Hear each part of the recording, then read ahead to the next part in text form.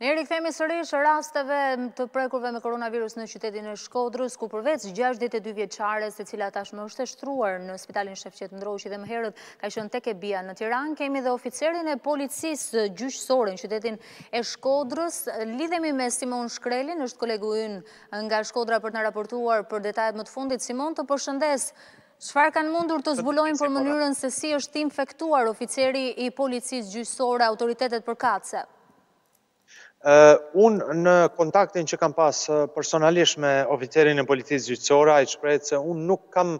nuk mund të them që kam një dijeni nëse ose nga kush mund ta kem marrë apo në cilët persona duke qenë se vetë puna ka qenë e tillë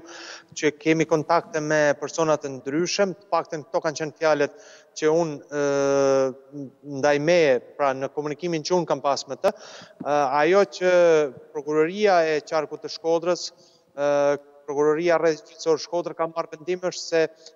të gjithë prokuroria do të vetëkarantinohet,